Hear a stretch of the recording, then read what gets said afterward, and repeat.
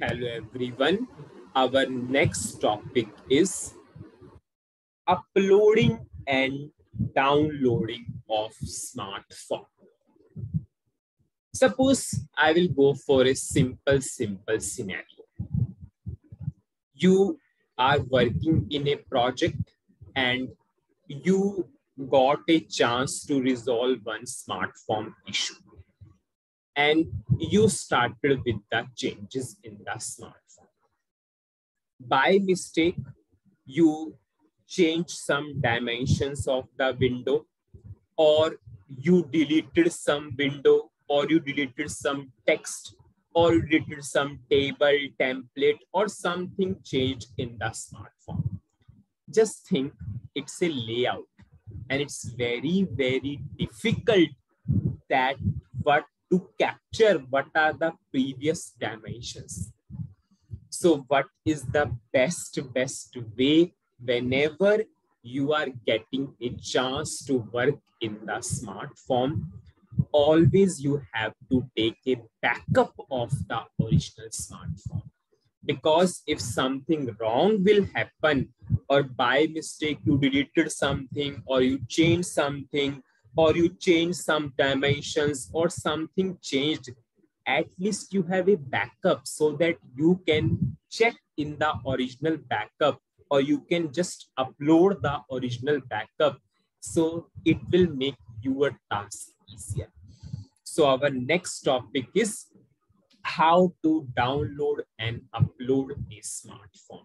In the previous video, if you remembered, when I deleted the main window, I took a backup first. So at that time, I told you in the future, we will cover that topic, how you can download or upload a smart form. Suppose this is the smart form and suppose I'm resolving a issue in the smart form. But before starting with the changes, I will simply take a backup of this smart form. So I'll go for utilities, download form. I will go to, suppose I'm saving on the desktop. I'm saving this smart form. And you can see my smart form downloaded on the desktop.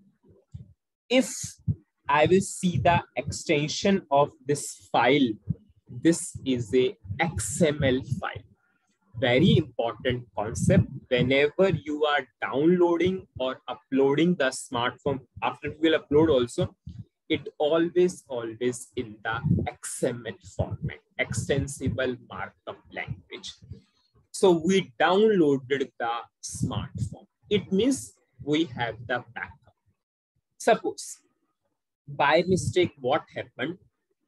I deleted the dynamic text window Suppose main window dimensions changed by mistake. But there is nothing to worry because I know I have the original backup of the smart form.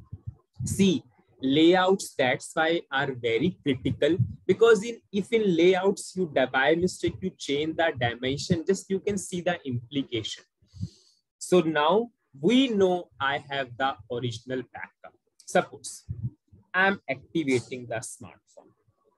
Now you can see by mistake, one window deleted. By mistake, height got changed. But now I want my original smart form. I know I have the backup, so I can take it from there itself. Now, if I will go for utilities, upload. Now this is the smart form which I downloaded in XML format. Open. Yes, I want to override.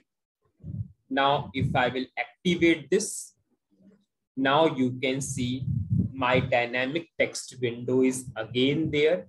Or if I will go to my main window, same to same height is again so always make a practice that whenever someone gives you the issue to change something in the layouts, always make a practice to take a backup so that if something wrong will happen, you should have the original backup. It will make your task easier. So that's it in this video. Whenever you are downloading or uploading a smart form, it is always, always a XML format, extensible markup. Thank you.